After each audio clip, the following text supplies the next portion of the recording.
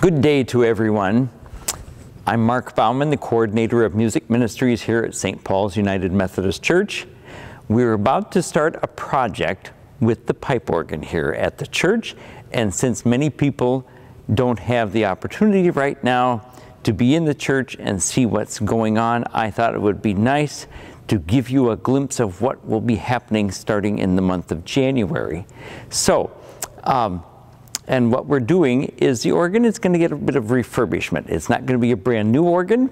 The organ was inspected and was deemed in very good condition, just needs a little love and care and TLC so it can move on for ministry in the future. And as we go along today in this little video, We'll show you some things and discuss what's going to happen. The company that is going to work on the organ is the Dobson Organ Company, which is in Lake City, Iowa. They have a reputation known all over the globe. So mighty and wonderful things happen in the state of Iowa.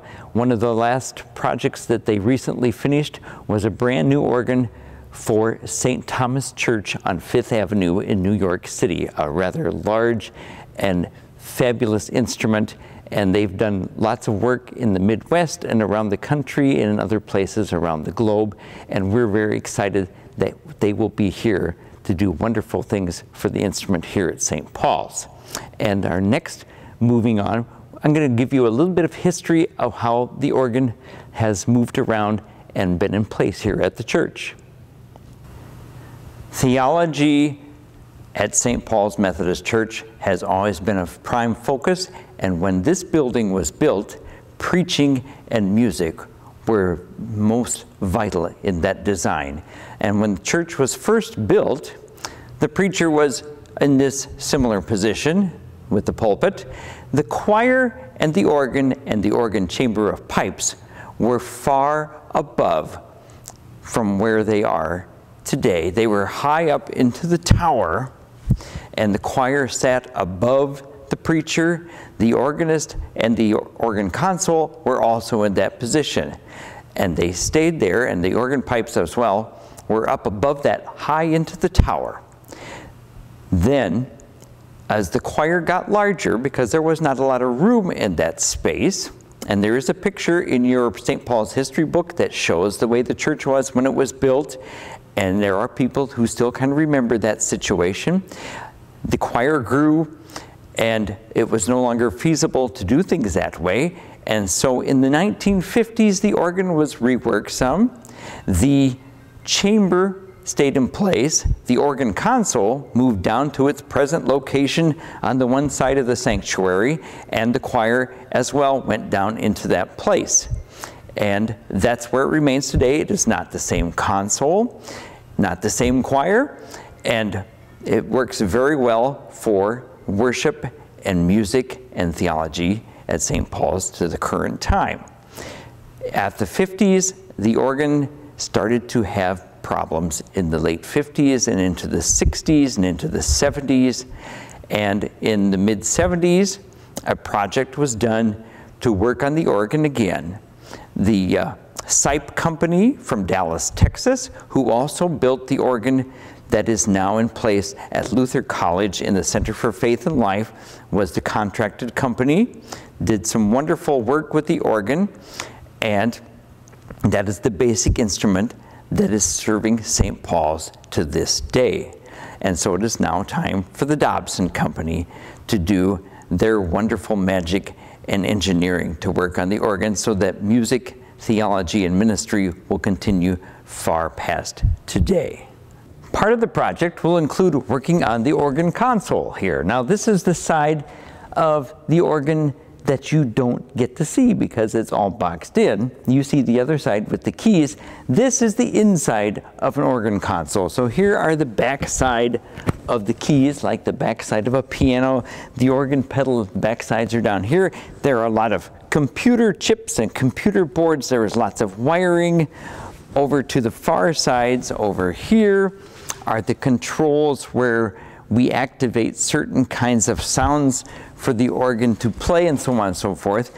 The Dobson company will be in here checking all the wiring, making sure all the pneumatic parts of it work correctly. If there's a broken piece of plastic that's not helping something function right, it'll get replaced so that everything in this console will be up to snuff and doing what it needs to do for music and ministry.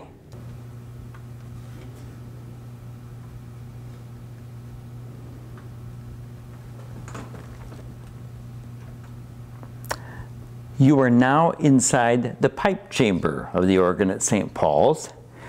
So where I'm standing right now in 1913 was the area where the choir sat and that um, the organist also sat up here, the console was here, and these people entered from a door or two from the hallway. And the choir was small then, maybe only about 8 to 12 singers. In the 1930s and 40s, the choir grew and in the 1950s, the organ was worked on somewhat. The console was moved down to its present location, which I mentioned before, and the choir. So this area became vacant. In the 1970s, when the organ was worked, this area got refurbished. The walls were plastered well, well for sound of music. The floor was redone, and the pipes were moved down to this level from up above. There are pipes in this chamber that still date from the organ of 1913 and they are still in wonderful condition. There are many organs around the globe that are much older than this one and they are still playing. All they just need is a lot of love and care. I'm going to go up high into the chamber right now so you get a glimpse up there too as I climb the ladder through the various parts of the organ. There are pipes all in rows for the notes there are some along the walls, and there are three levels of pipes here. I have climbed past the first one. I'm coming up to the very top here on this nice dirty ladder that was built in the 1970s, and I'm at the top level. Um, I am touching a pipe right now that comes from the organ of 1913. There are some pipes from 1913 in here. There's some pipes from the 1929 working by the Austin Company of Hartford, Connecticut. That was the original builder.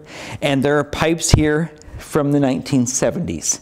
The pipes from the 50s had all disappeared with the reworking of the time in the 1970s.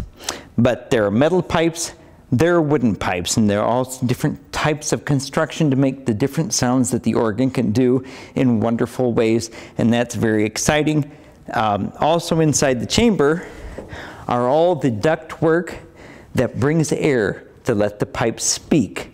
The air actually enters the chamber over here from a blower that's installed across the hallway and comes over the ceiling of the hallway and brings the air into the chamber here, for the power was to the organ was on, you'd hear a lot of hissing in here because there would be a lot of pressurized air being readied for when notes are played that the air rushes into the pipe and lets it speak very much like someone playing a flute or a clarinet or a bassoon or another instrument and that would be how the organ works in very simple terms there. So the organ company, when they come here in January, are going to remove almost all of these pipes. They will be going into a truck in special containers, going to Lake City where they will work on each pipe individually. They will make sure there are no dents that shouldn't be there, clean them. They will clean the inside of this chamber, make sure all of the ductwork, all of the wiring, all the computering, devices in here are up to snuff.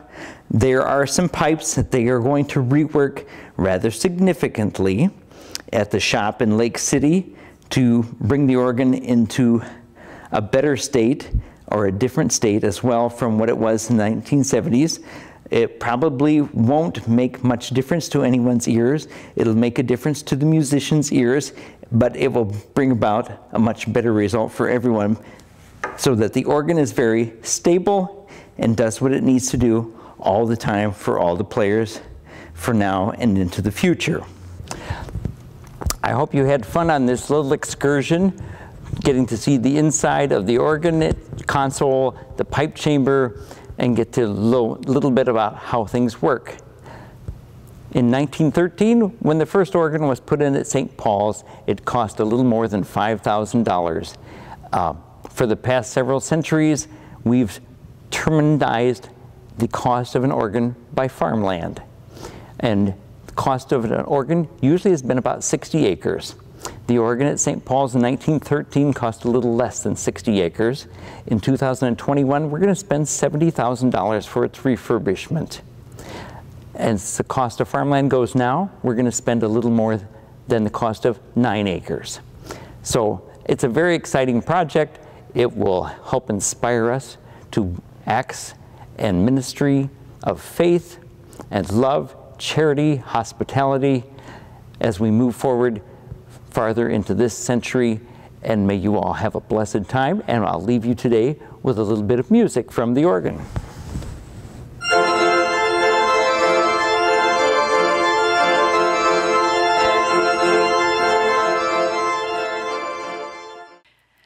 Well, if you're like me, you've just learned a whole lot more about the organ here at St. Paul's, things that I sure didn't know. Uh, thank you so much to uh, Dr. Mark Baumann for his narration and the guided tour and a history lesson.